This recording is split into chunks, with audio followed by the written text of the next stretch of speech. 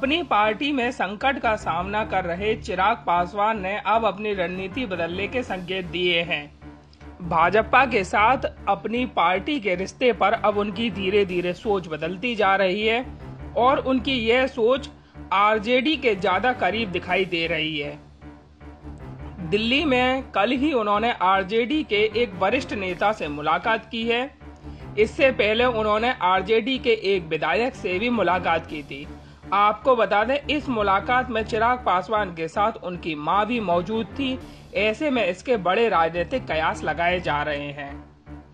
चिराग जिन RJD के बड़े नेताओं से मुलाकात कर रहे हैं, उनमें आरजेडी के प्रमुख नेता और राष्ट्रीय महासचिव श्याम रजक का भी नाम शामिल है।